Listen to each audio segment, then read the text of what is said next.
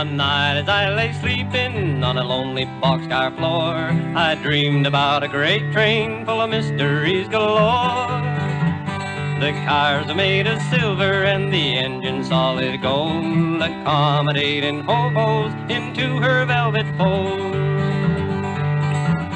The conductor sold the tickets while a coming down the aisle, and all you had to pay him was a yodel and a smile.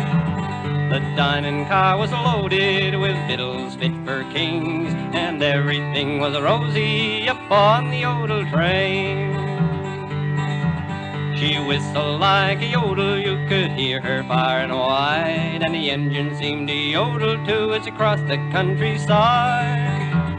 She traveled east and westward through sunshine and through rain. She was known to all the hobos as the yodel train.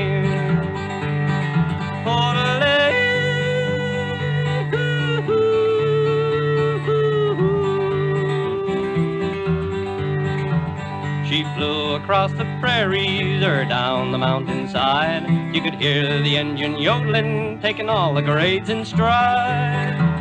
She yodeled at the crossings from Mexico to Maine. Oh, what a glorious journey upon the yodel train.